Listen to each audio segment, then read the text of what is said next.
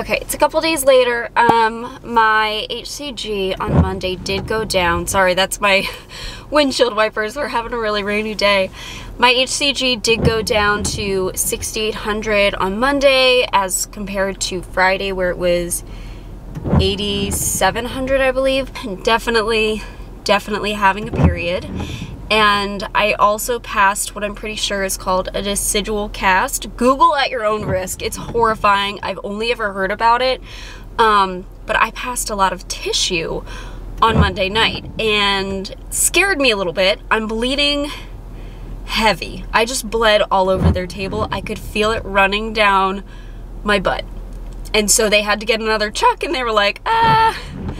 They lifted the little sheet I had over me um, because they had a PA doing it, and I think she might be she might be a little bit newer. So the nurse practitioner was showing her exactly what to do, and the PA lifted the sheet when I said I feel blood. I think so the NP could see. Um, but I was like, no, I'm not in pain other than like pretty severe period cramps, not severe, but like pretty intense. And a heavier bleed and they did confirm that my uterine lining is a lot thinner than it was on Monday. So I definitely lost that. They did still find the ectopic pregnancy. Um, they think they saw the heartbeat still but again very slow and irregular. This has been a lot. Um, when I'm feeling not my best having to get up fairly early in the morning get ready drive half an hour get my vagina looked at closely and my uterus looked at very closely. And um, you know then drive half an hour back. So it's been very tiring. So i'm gonna go home and i might just crawl back into bed because i want my heating pad. I want to lay down i want to drink my coffee and i want to be comfortable. So that's the update. Just bleeding a lot but definitely this is definitely a period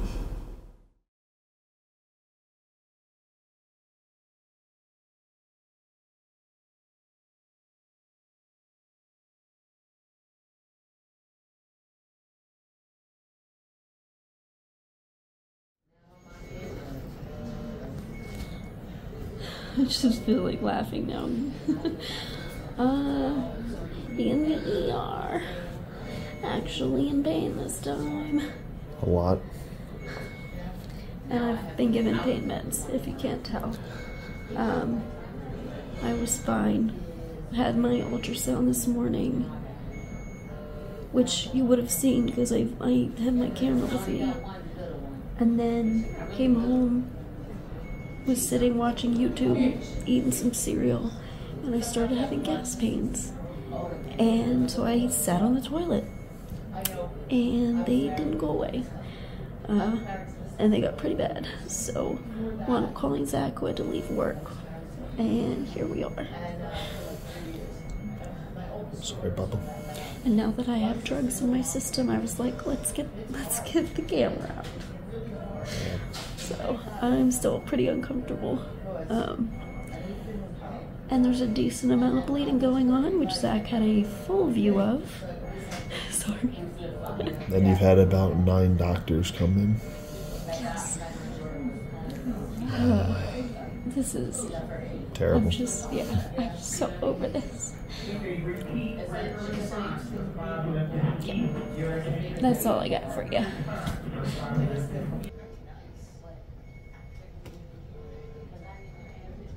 Love you. I Love you too.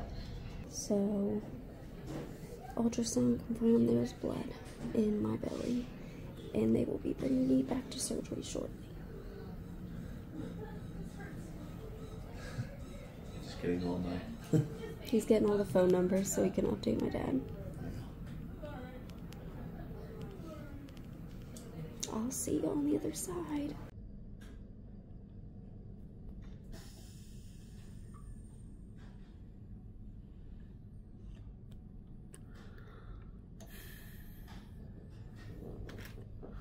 You're doing great, Bobby.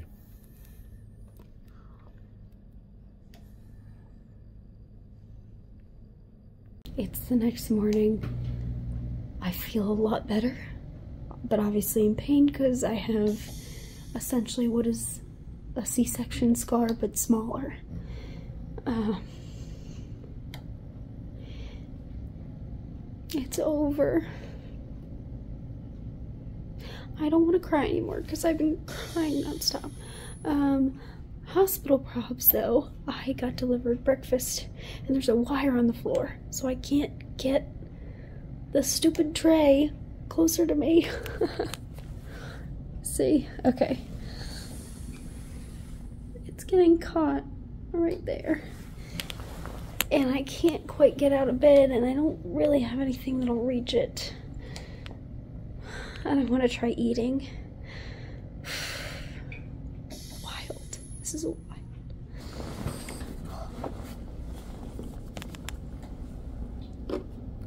I think this is coffee. I'm so excited. Oh yeah, that's coffee. What do we get?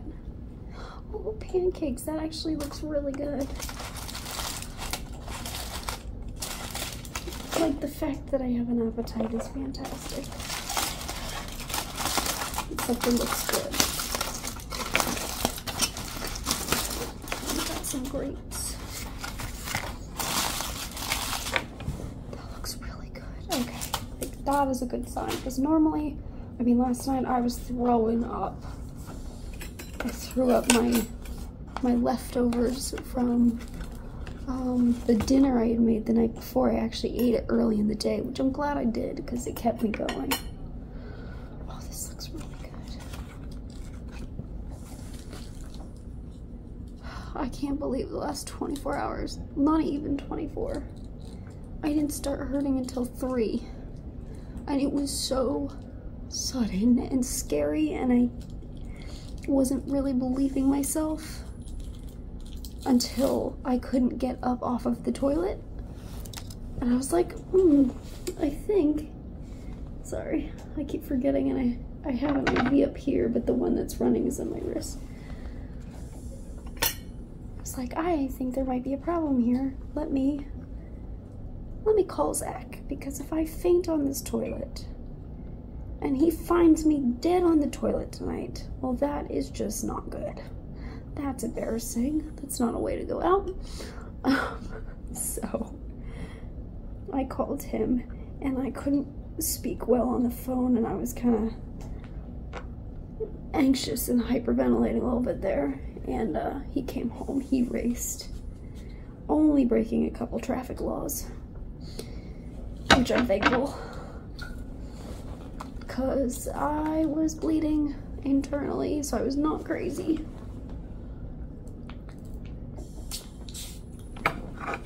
I hope you guys can hear me because I I don't want to talk loud. It's only it's not even seven yet. I think the new nurse will probably come in soon. This looks really good. Um, it's probably gonna get my ostomy going. And I haven't updated anybody online. I've only updated only person who knew before my surgery was my dad and Zach, of course. Um, and then he was calling a couple of our friends because he just, you know, needed some support because it was very sudden and scary. Um, I haven't updated anybody else online yet because, I mean, you could tell the difference of when I updated the last time I was in the ER a week ago. I felt okay then. I didn't feel okay. It's like I just wasn't I just couldn't, you know, get on my phone or anything.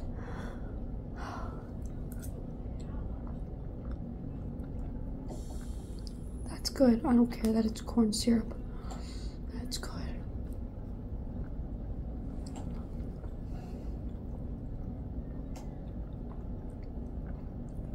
I did throw up last night, like I said, so they actually gave me IV Phenergan they're doing ibuprofen and Tylenol scheduled, and then oxy is needed, which I did need around 3 a.m.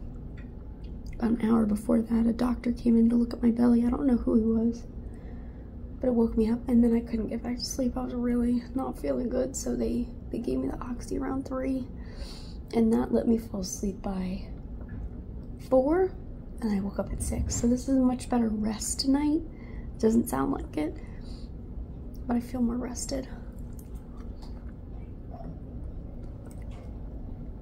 Okay, I'm gonna eat this and drink my coffee, and I'll give you an update later. Here is my lovely room tour. We've got an IV pole running some fluids, some vomit bags, um, incentive spirometer, which I haven't used yet, um, breakfast, half eaten, all of the stuff that I brought to the hospital. I got that in Vegas, and it has been the most helpful thing. Uh, bathroom, which I just peed in by myself without a Foley, so awesome, and a curtain. Yep.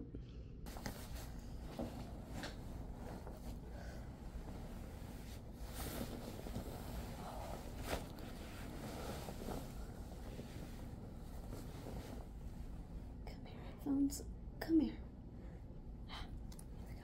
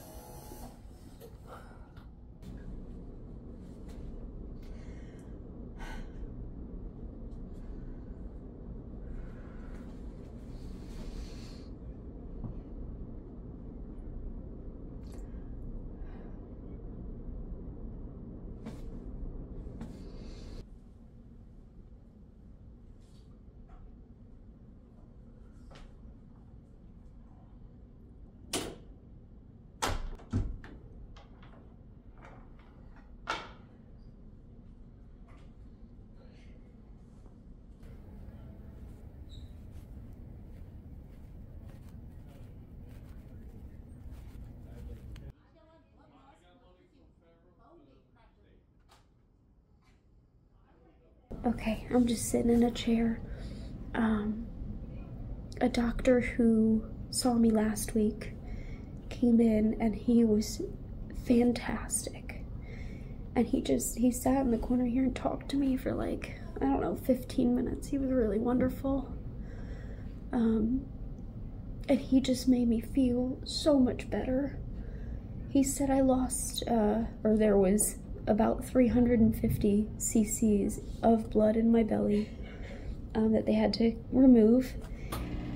Sorry, that's the bed doing its thing. It's trying to blow up, but I'm not in it.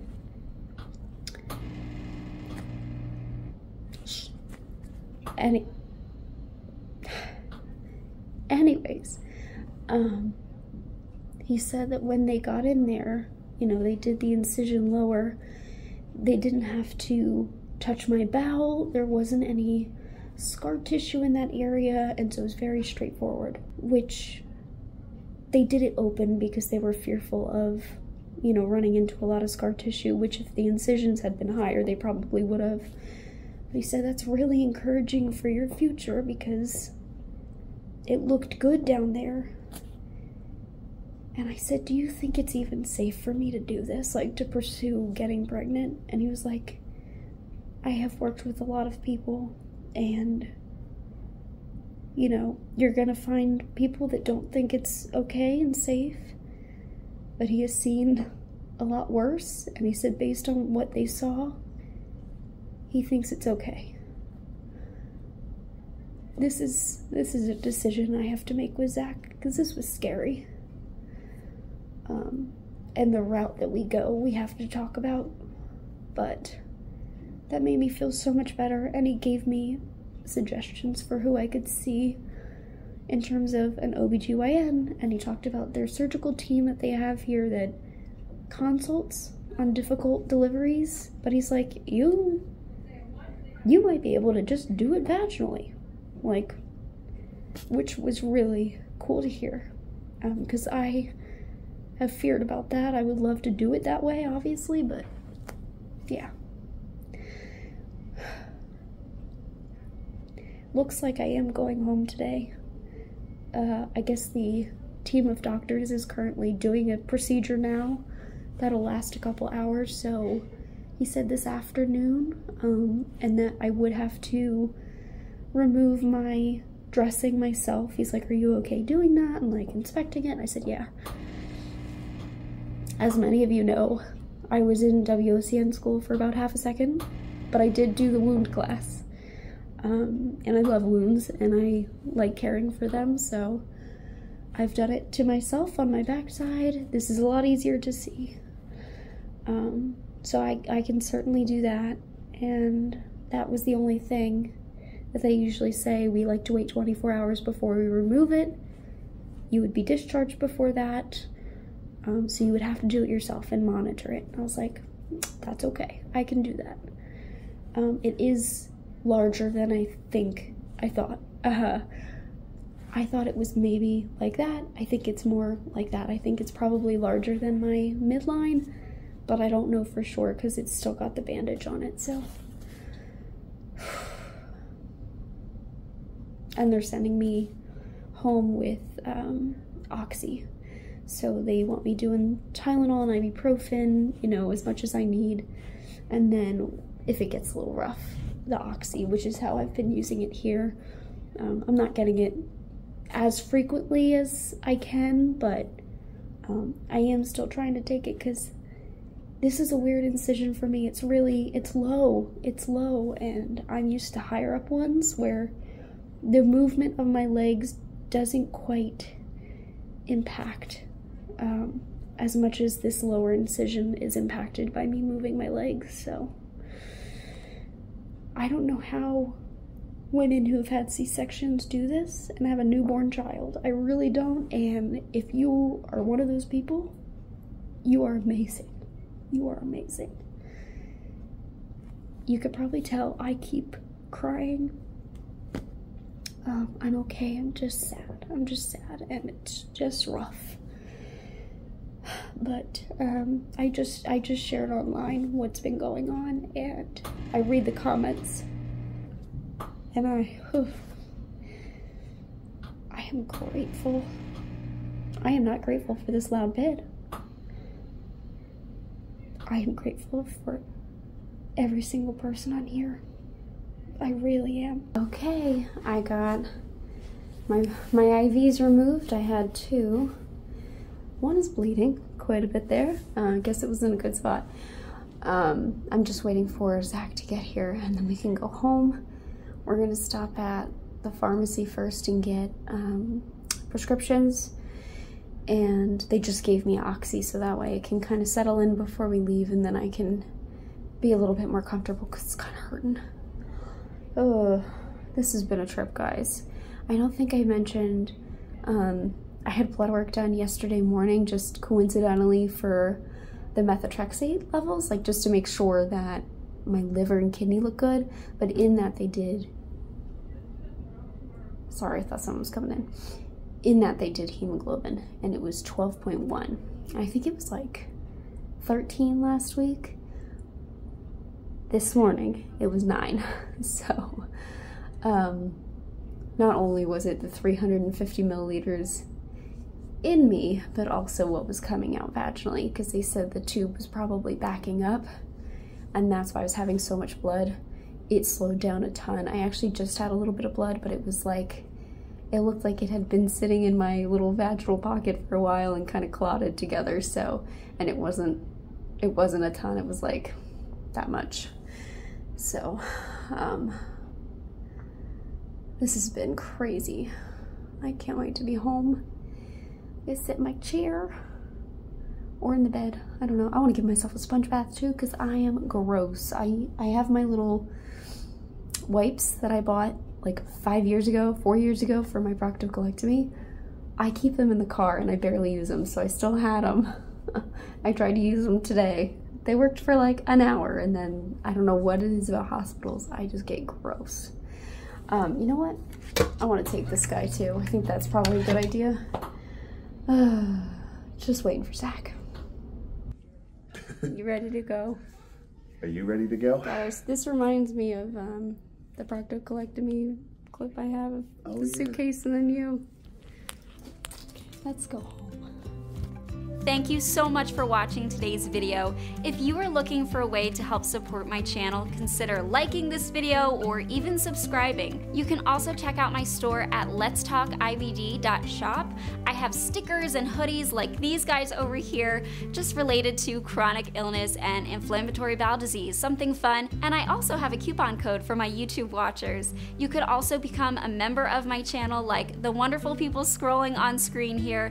They've become a member and they have access to videos a little bit earlier. It's a great way to support my channel and really just watching my videos means the world. Thank you so much and I'll see you in the next.